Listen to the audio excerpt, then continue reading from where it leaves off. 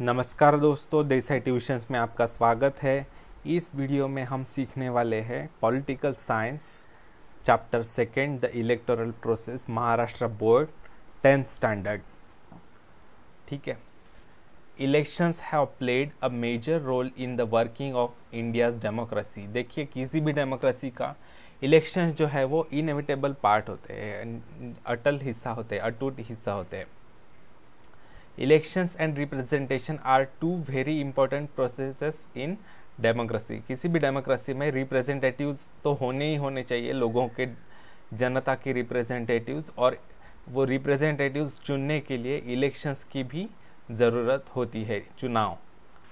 We know that peoples representatives are selected through elections हमारे जो representatives होते हैं मेंबर्स ऑफ़ पार्लियामेंट लोकसभा के मेंबर्स राज्यसभा के मेंबर्स या फिर आ, हमारे राष्ट्रपति हमारे प्रधानमंत्री हमारे मुख्यमंत्री विधानसभा के मेंबर्स इन सभी के चुनाव जो है वो इलेक्शंस द्वारा होते हैं। Elections help to bring a change in power through peaceful means देखिए ये खूबसूरती है डेमोक्रेसी की। डेमोक्रेसी में ट्रांसफ़र ऑफ़ पावर जो है वो पीसफुली होता है। ब्लडलेस ट्रांसफ़र ऑफ़ पावर जिसे कहा जाता है। मतलब आ, दूसरी सिस्टम जो है, अगर मोनार्की वगैरह है तो लोगों के बीच में जो गुस्सा दबा हुआ होता है, वो एकदम से बॉईल होकर बाहर आता है। उससे उस राजा को मार दिया जा सकता है। समझ लीजिए, आपने बाहुबली मूवी तो देखी होगी। माहिष्मती में अगर डेमोक्रेसी होती तो भल्लाल देव कभी राजा नहीं बन सकता था। अमरेंद्र बाहुबली राजा बनता था। और अगर भल्लाल देव बनता भी तो पाँच साल बाद उसे बदलने का लोगों को अधिकार होता। इतना मतलब जैसे सेकेंड पार्ट में इतना लड़ाई करने की ज़रूरत नहीं पड़ती थी महेंद्र बाहुबली को भल्लाल देव के साथ। उतना उसे मारने की ज़रूरत नहीं थी, ठीक है? तो इसे बोलते हैं bloodless transfer of power peaceful transfer of power elections help to bring a change in power through peaceful means different political parties get an opportunity to rule अलग अलग पॉलिटिकल पार्टीज़ कभी ए पार्टी को रूल करने का मौका मिलता है, कभी बी पार्टी को रूल करने का मौका मिलता है। 2014 से पहले कांग्रेस का राज था हमारे देश में, बाद में 2014 में बीजेपी का राज आया, इस तरीके से। Policies of the government and life of society also changes तो जैसे पार्टी बदलती है रूलिंग पार्टी बदलती है वैसे पॉलिसीज़ भी बदलती है सरकार की और समाज की लाइफ भी बदलती है। We expect that the representative we elect should be efficient honest and trustworthy and that they should respect the opinion of the people हम जो रिप्रेजेंटेटिव चुनकर भेजते हैं, उन प्रतिनिधि जो चुनकर भेजते हैं, वो इफिशियंट होने चाहिए, काम करने चाहिए ऑनेस्ट होने चाहिए और ट्रस्टवर्दी होने चाहिए, भरोसेमंद होने चाहिए, और वो लोकमत का आदर करने चाहिए उन्होंने। लोगों के मतों का आदर किया जाना चाहिए। The electoral process should also be free fair and reliable देखिए इलेक्ट्रोरल प्रोसेस चुनाव का जो प्रोसेस है, वो भी भरोसेमंद होना चाहिए। नहीं तो अगर सत्ता में जो पार्टी है, वो हमेशा खुद को ही वोट देकर, खुद को ही जिताई जाएगी।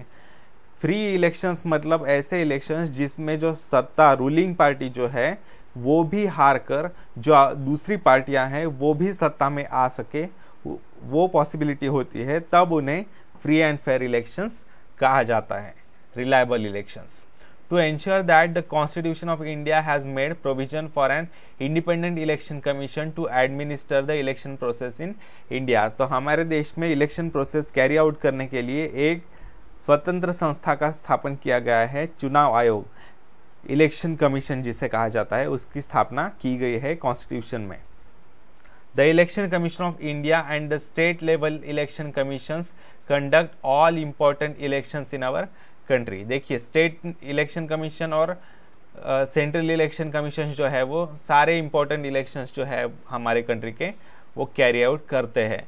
The entire process of elections from declaring the date of elections to the declaration of results is carried out under the direction and control of election commission देखिए इलेक्शंस का सारा काम चुनाव का सारा काम जो है वो चुनाव आयोग द्वारा किया जाता है चुनाव की तारीख घोषित करना फिर चुनाव करवा लेना फिर उसके बाद चुनाव का रिज़ल्ट लगवाना ये सब कुछ इलेक्शन कमीशन द्वारा किया जाता है the election process is an inseparable component of comprehensive democratic process election जो है, वो किसी भी डेमोक्रेटिक प्रोसेस का अभिन्न हिस्सा है।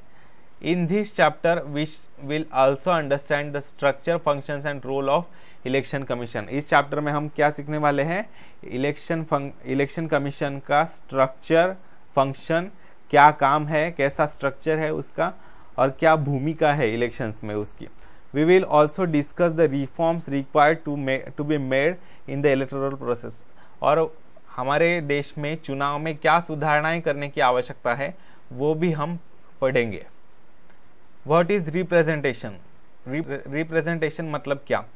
Modern democracy is a representative democracy देखिए, आजकल डेमोक्रेसी में डेमोक्रेसी की स्टार्टिंग वैसे तो कहा जाता है कि ग्रीस में हुई थी अथेंस में। तो उस समय जो नागरिक थे नागरिक हुआ करते थे, वो छोटे छोटे शहरों में, गाँव में रहते थे तो उस समय कौन सा भी डिसीज़न अगर लेना, लिया जाता था तो वो सारे नागरिक असेंबली में बैठकर डिस्कस करते थे। लेकिन अभी अगर हमारे शहर की भी आबादी अगर देख लें तो आजकल तो शहर की आबादी भी दस लाख, पंद्रह लाख ऐसी होती है। तो इतने सारे लोग एक ही जगह पर बैठना तो नामुमकिन है इसलिए डिस्कशन करना भी पॉसिबल नहीं है। इसलिए हम क्या करते हैं? हमारे रिप्रेजेंटेटिव्स चुनकर भेजते हैं। प्रतिनिधि हमारे तौर पर काम करने के लिए चुनकर भेजते हैं। हम महानगर पालिका में या पंचायत समिति में या विधानसभा में या फिर लोकसभा में हमारे प्रतिनिधि, हमारे रिप्रेजेंटेटिव चुनकर भेजते हैं हमारी तरफ़ से काम देखने के लिए देश का या फिर राज्य का या फिर शहर का। In a democracy it is not possible to involve the entire population in the decision making process this resulted in the starting of the practice of electing some people on behalf of entire population as representative who would run the government तो सारे लोगों को तो involve करना possible नहीं है, क्योंकि हमारी पॉपुलेशन ही 130 करोड़ है नियरली तो इससे ये सभी लोगों को डिस्कशन में इन्वॉल्व करना पॉसिबल नहीं है। इसलिए हम हमारी तरफ़ से बिहाफ मतलब हमारी तरफ़ से जो है रिप्रेजेंटेटिव्स चुनकर भेजते हैं पार्लियामेंट में असेंबलीज में। The representatives who form the government are expected to be responsible to the people and give preference to the welfare of the people जो भी रिप्रेजेंटेटिव चुनकर भेजे जाते हैं, वो जिम्मेदार होते हैं लोगों की तरफ़। लोगों की तरफ़ जवाबदेही होती है उनकी। अगर कोई गलती करता है तो लोग उन्हें हटा सकते हैं। सारी पावर जो है वो लोगों के हाथों में होती है, उन्हें हटाने की या उनको चुनने की। Election commission. In India, the election commission is central to the process of elections. Bharat में इलेक्शन कमीशन जो है चुनाव आयोग, वो सारे इलेक्शन प्रोसेस जो होते हैं, उसका सेंट्रल है। Article 324 of the Indian constitution has establish this autonomous body which consist of one chief election commissioner and two other commissioners तीन इलेक्शन कमिश्नर्स होते हैं। एक चीफ इलेक्शन कमिश्नर और दो सिंपल इलेक्शन कमिश्नर्स तो इनकी जो बॉडी होती है, वो, उसे कहा जाता है इलेक्शन कमीशन और ये एक ऑटोनॉमस बॉडी होती है। ऑटोनॉमस मतलब स्वायत्त, स्वतंत्र बॉडी जिस सरकार के कंट्रोल में नहीं होती सरकार से इंडिपेंडेंट काम करती है। सरकार का सरकार का भी कंट्रोल नहीं होता उसके ऊपर। अगर सरकार का, का कंट्रोल आ गया इलेक्शन कमीशन पर तो हमेशा रूलिंग पार्टी ही जीतती जाएगी। Do you know Sukumar Sen was the first chief election commissioner after independence in nineteen twenty one Sen was selected for Indian civil services under the British rule उस समय आई को ICS कहते थे। Indian civil services IAS जिसे आज कहा जाता है इंडियन एडमिनिस्ट्रेटिव सर्विसेज़ तो वो 1921 में सुकुमार सेन को सिलेक्ट किए गए थे इंडियन सिविल सर्विसेज़ में under the British rule he was given the charge of the election commission after the election commission was established in 1950 उनको पहले इलेक्शन कमिश्नर बनाया गया था। Mister Sen efficiently handled the responsibility of the election commission in extremely adverse conditions पहले elections तो बहुत ही adverse थे। सारी इलेक्शन की लीज बनानी थी वोटर्स आईडी वोटर्स आईडी बांटने थे वोटर्स की लीज बनानी थी। 18 साल के या 21 साल के ऊपर के जो थे, उनकी लीज बनानी थी पहली बार। ये सब कुछ करना बहुत ही चैलेंजिंग जॉब था और उन्होंने वो सक्सेसफुली करके दिखाया था। The president appoints the election commissioners देखिए इलेक्शन कमिश्नर्स की था अपॉइंटमेंट जो है वो प्रेसिडेंट राष्ट्रपति द्वारा की जाती है on the advice of parliament संसद के सलाह द्वारा राष्ट्रपति चुनते हैं election commissioner the chief election commissioner cannot be remove from his post easily और on account of any political reason देखिए चीफ इलेक्शन कमिश्नर को ऐसे ही सरकार को पसंद नहीं आया, किसी एक पार्टी को पसंद नहीं आया तो उसे हटाया नहीं जा सकता। चीफ इलेक्शन कमिश्नर को अगर हटाना है तो लोकसभा के और राज्यसभा के टू थर्ड मेंबर्स को हटान मतलब वोटिंग की हा होनी पड़ती है। मतलब अगर लोकसभा में 100 मेंबर्स है तो उसमें से 67 मेंबर्स ने वोट करना चाहिए कि हाँ ये चीफ इलेक्शन कमिश्नर हमें नहीं चाहिए, ये करप्ट है या ये अच्छा नहीं है, तब उसको हटाया जा सकता है। अगर किसी के भी, सरकार के मन में भी आ जाए कि ये, इसे हटाना चाहिए तो वो सरकार नहीं हटा सकती। Two third members of parliament की हाँ होनी चाहिए, तभी election commissioner chief election commissioner को हटाया जा सकता है। This is necessary so as to preserve the independence of election commission there is a separate provision made for the expenses of election commission her budget में election commission के लिए अलग budget दिया जाता है, उनके खर्चे के लिए अलग से प्रावधान किया जाता है। The election commission does not have a separate staff उनका अलग से स्टाफ नहीं होता। Government officers teachers and other employees help the election commissioner commission to execute the process of election government employees जो होते हैं गवर्नमेंट ऑफिसर्स गवर्नमेंट स्कूल के teachers वही इलेक्शन कमीशन को हेल्प करते हैं इलेक्शन करवाने में। अच्छा do you know special campaign to create awareness among voters is run for voters registration the national voters day is celebrated for this purpose हमारे देश में नेशनल वोटर्स डे मनाया जाता है हर साल 25 जनवरी को ट्वेंटी फिफ्थ ऑफ़ जनवरी मतलब रिपब्लिक डे जो है 26 जनवरी के एक दिन पहले 25 जनवरी को नेशनल वोटर्स डे मनाया जाता है। सन 2011 से मनाया जाता है ये दिवस, राष्ट्रीय मतदाता दिवस। Functions of election commission preparing the voters list every year Indian citizen who has completed 18 years of age has to has a right to vote. देखिए, हमारे देश में हर एक नागरिक को जो 18 साल पूरे किए हैं जिसने अपने आयु के, उसको वोटिंग का अधिकार दिया गया है। To exercise the right to vote citizen name must be in the voters list voters list में नाम रजिस्टर करना पड़ता है, पहले।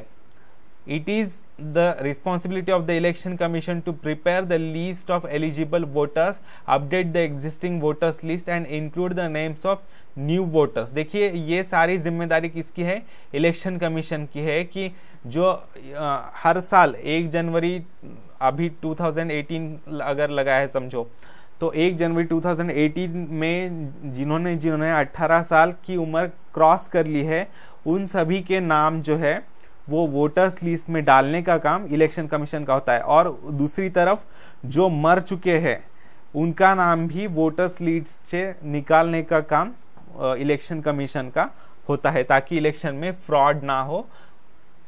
The election commission has the authority to issue identity cards to the voters election commission का क्या काम होता है एक और? कि उसको अधिकार भी होता है आइडेंटिटी कार्ड्स वोटर्स को देने का। अच्छा why is it required when candidates have only the condition of age age eligibility why should they give other information to election commission यहाँ पर ये पूछा गया है कि जब उम्मीदवार जो होते हैं जो इलेक्शन में खड़े होते हैं चुनाव में उनको अगर एज का ही एलिजिबिलिटी uh, क्राइटेरिया है तो बाकी इंफॉर्मेशन क्यों दी जाती है? जैसे उनकी प्रॉपर्टी कितनी है उनको बच्चे कितने हैं उनका मैरिटल स्टेटस क्या है मतलब शादी हुई है कि नहीं हुई या फिर कितनी प्रॉपर्टी है ये किस लिए दिया जाता है? क्योंकि हमारे देश में कानून ये है कि अगर तीन से ज़्यादा बच्चे होते हैं तो वो इलेक्शन में खड़ा नहीं रह सकता। और दूसरी बात है प्रॉपर्टी की। तो अगर एक एमपी है जो पहली बार आ, हो चुका है मेंबर ऑफ़ पार्लियामेंट और दूसरी बार लड़ रहा है तो जब पहली बार वो एमपी था, तब उसके पास कितनी प्रॉपर्टी थी? अगर दस करोड़ की प्रॉपर्टी थी और दूसरी बार एमपी बनते, बनने के लिए जो खड़ा हो रहा है, उस समय अगर सौ करोड़ की प्रॉपर्टी होती है तो सिर्फ़ पाँच साल में नब्बे करोड़ प्रॉपर्टी आ गई। मतलब उसने बहुत ही ज़्यादा करप्शन किया है। ये लोगों को पता चलना चाहिए। इसलिए प्रॉपर्टी का भी घोषणा करनी होती है। संपत्ति की भी घोषणा करनी पड़ती है। Why are the candidate require to give the information of their property to election commission ये मैंने अभी बताया। ठीक है? Second point decide the time table and the programme of election the conduct of election is entirely the responsibility of the election commission देखिए election करवाना देश में या राज्य में या शहर में, वो पूरी तरीके से इलेक्शन कमीशन की ज़िम्मेदारी है। The election commission decides when to conduct elections and in how many stages to hold elections in every state देखिए, ये इलेक्शन कमीशन डिसाइड करता है कि इलेक्शंस कब करवाने हैं और कितने पड़ाव में करना है, कितने स्टेजेस में करना है, क्योंकि हमारा देश तो बहुत बड़ा है, इतनी ज़्यादा हमारी लोक संख्या है, जनसंख्या है तो इतने सारे लोगों को एक साथ मैनेज करने के लिए सिक्योरिटी की भी अरेंजमेंट करनी पड़ती है पड़ती है। इसलिए एक जगह से दूसरी जगह पर पुलिस फोर्स को हिलाना पड़ता है मिलिट्री को हिलाना पड़ता है कई बार सिक्योरिटी के लिए। तो देश की सुरक्षा के साथ कॉम्प्रोमाइज न किए बगैर अगर इलेक्शंस करवाने हैं तो इस सभी चीज़ों का ध्यान रखना पड़ता है कि कितनी स्टेजेस में इलेक्शंस करवाने हैं, कब कब इलेक्शंस करवाने हैं, कहाँ इलेक्शंस करवाने हैं, ये इलेक्शन कमीशन का ज़िम्मेदारी होती है। Third scrutiny of the applications of candidates After the election dates are declared, every political party selects the candidates to contest elections. जब इलेक्शंस के डेट्स घोषित होते हैं तब हर एक पॉलिटिकल पार्टी जो होती है वो अपने अपने उम्मीदवार चुनते हैं जो इलेक्शंस लड़ने वाले हैं। Some candidates contest the elections independently without the support of any political party कोई जो होते हैं अपक्ष होते हैं मतलब निर्दलीय उम्मीदवार होते हैं जो किसी भी पॉलिटिकल पार्टी से नहीं होते वो अपने आप से चुनाव लड़ने के लिए खड़े होते हैं। Candidates of political parties as well as independent candidates have to fill the application which include the information about their own self देखिए कैंडिडेट्स को अपनी डिटेल इंफॉर्मेशन देनी पड़ती है फॉर्म भरने के लिए चुनाव के फॉर्म भरने के, के समय। The Election Commission scrutinizes all the applications and allows the eligible candidates to contest the elections. तो इलेक्शन कमीशन क्या करता है? सारा कुछ चेक करती है फॉर्म में, सारा कुछ सही भरा है या नहीं इंफॉर्मेशन और अगर कोई फॉर एग्जांपल हमारे देश में लोकसभा के चुनाव के लिए खड़े रहने के लिए 25 साल की आयु कंपलसरी है। तो अगर कोई कैंडिडेट गलती से 24 साल का होता है और वो फॉर्म भर देता है उम्मीदवार तो उसका फॉर्म रिजेक्ट किया जाता है, उसकी उम्मीदवारी रिजेक्ट की जाती है। वैसे ही अगर किसी को चार बच्चे हैं और वो अगर फॉर्म भरता है तो वो भी चेक करने के बाद इलेक्शन कमीशन उसका फॉर्म कैंसिल कर देती है, उसे अलाउ नहीं करती। Fourth point give recognition to political parties we have a multi party system in our country new parties continue to be form. देखिए हमारे देश में मल्टी पार्टी डेमोक्रेसी है। मतलब क्या आ, कुछ देशों में जैसे यूके देख लीजिए इंग्लैंड वहाँ पर सिर्फ़ दो ही पार्टियाँ होती है या फिर कनाडा में या फिर यूएस में। यूएस में होती है छोटी छोटी बड़ी लेकिन कनाडा में तो दो ही पार्टियाँ हैं लिबरल और कंजर्वेटिव ऐसी दो ही पार्टीज़ है एक सत्ताधारी पार्टी और एक विपक्ष पार्टी। तो अगर ए को नहीं वोट देते तो बी को वोट देना ऐसे दो ही पार्टीज़ है, ऐसे दो ही चॉइस है। लेकिन हमारे देश में तो कई सारी पार्टीज़ है, हज़ारों पार्टीज़ है। इसे कहते हैं multi party system split in the parties result in the formation of new parties नए पार्टीज़ कभी स्थापित होते हैं, कभी जो पुरानी पार्टी है, वो उसमें से कभी टुकड़े होकर डिवीज़न होकर नई पार्टियाँ बनती है। All political parties are required to be recognize by the election commission election commission द्वारा रिकॉग्निशन की ज़रूरत होती है उनको। इलेक्शन कमीशन की मंजूरी होना आवश्यक होता है किसी भी पॉलिटिकल पार्टी को। Election commission also has a right to derecognize any political party किसी पार्टी की मंजूरी रद्द करने का अधिकार भी इलेक्शन कमीशन को होता है। The election commission also allots election symbols to the political parties election commission क्या करता है? पॉलिटिकल पार्टीज़ को सिंबल्स भी देता है। जैसे बीजेपी का कमल का सिंबल है कांग्रेस का पंजा का सिंबल है शिवसेना का धनुष बाण का सिंबल है। ऐसे अलग अलग सिंबल का आवंटन जो है वो इलेक्शन कमीशन द्वारा किया जाता है। Fifth point to resolve any disputes relating to election ये पॉइंट लेने से पहले हम ये देखते हैं। Some constituencies are kept reserve for schedule caste and schedule tribes देखिए, कुछ कॉन्स्टिट्यूंसीज जो है हमारे देश में, वो शेड्यूल कास्ट अनुसूचित जाति और अनुसूचित जनजातियों के लिए आरक्षित है, क्योंकि वो पिछड़े हुए हैं। उनको भी पावर में हिस्सा मिलना चाहिए, इसलिए उनको, उनके लिए रिजर्वेशन दिया गया है पार्लियामेंट में। Every political party has an election symbol क्योंकि हमारे देश में देखिए, सारे लोग तो लिटरेट नहीं है, सारे लोगों को पढ़ना नहीं आता। कुछ इलिटरेट लोग भी है तो उन्हें भी वोटिंग करना आना चाहिए। वोटिंग करने के लिए कंफर्टेबल होना चाहिए उनको। जो लोग पढ़ नहीं सकते, वो सिंबल देखकर वोट करते हैं। इसलिए हर पॉलिटिकल पार्टी को सिंबल दिया जाता है। At the time of voting and counting of votes the official representatives of political parties remain present जब वोटिंग की काउंटिंग की जाती है, तब सारे पॉलिटिकल पार्टीज़ के रिप्रेजेंटेटिव्स वहाँ पर प्रेजेंट रहते हैं। क्यों? क्योंकि वोटिंग की गिनती के समय कोई भी बाद में ये नहीं बोलना चाहिए कि इन्होंने गड़बड़ी की और इन्होंने घोटाला किया वोटिंग के गिनते समय। इसलिए सारे लोग, सारे पॉलिटिकल पार्टीज़ के प्रेजेंट रहते हैं। Recognize parties have equal opportunity to present their side before media such as television and radio सभी रिकॉग्नाइज पॉलिटिकल पार्टीज़ को अपनी अपनी साइड रखने का टेलीविज़न में या मीडिया में इक्वल अपॉर्चुनिटी दी जाती है। Fifth point to resolve any disputes relating to elections the election commission has the responsibility of resolving any disputes that may arise regarding elections अगर इलेक्शंस के दौरान कुछ डिस्प्यूट्स झगड़ा खड़ा होता है तो वो झगड़ा सॉल्व करने का काम भी ज़िम्मेदारी किसकी है? इलेक्शन कमीशन की है। Accordingly to declare any candidate as disqualified or conduct re-election in a particular constituency is the responsibility of the election commission. देखिए, किसी कैंडिडेट को डिसक्वालीफाई करना या फिर कहीं, किस जगह पर री इलेक्शन करवाना, दोबारा इलेक्शंस करवाना? कॉन्स्टिट्यूएंसी कॉन्स्टिट्यूएंसी का मतलब क्या है? मतदार संघ जिसे कहा जाता है मराठी में। मतदार संघ मतलब चुनाव क्षेत्र। देखिए, हमारे लोकसभा में टोटल 543 सीट्स है। टोटल 545 सीट्स है, लेकिन दो जो है, वो रिज़र्व है, वो चुने हुए वहाँ पर चुनाव नहीं होते। तो 543 सीट्स पर चुनाव होते हैं और 543 मेंबर्स ऑफ़ पार्लियामेंट जो है वो चुने जाते हैं। तो इसलिए 543 अलग अलग हिस्सों में देश बांटा गया है डिवाइड किया गया है।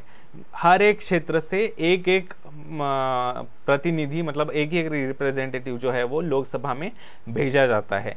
तो उस एरिया को मतलब जी एक एक छोटा एरिया जो 543 एरियाज़ बांटे गए हैं छोटे छोटे तो उस एक एरिया को कॉन्स्टिट्यूएंसी कहा जाता है। जहाँ से एक सीट होती है, वहाँ को कॉन्स्टिट्यूएंसी कहा जाता है। ठीक है?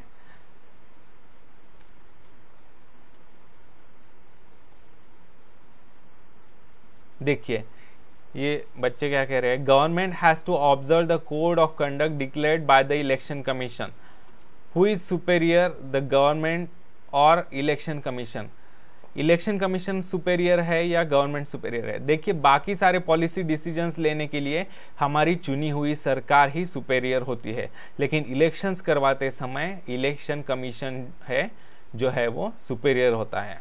ठीक है? Which two conditions among the following is the violation of code of conduct देखिए, कुछ नियम बनाए जाते हैं। चुनाव के दौरान कुछ नियम बनाए जाते हैं। सभी पॉलिटिकल पार्टीज़ पर वो नियम समानतः लागू होते हैं।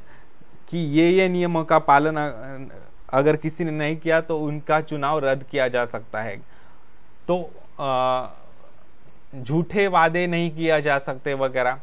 तो देखिए, इसमें से कौन सा कोड ऑफ़ कंडक्ट उन नियमों का उल्लंघन किया जा रहा है, वो देखेंगे।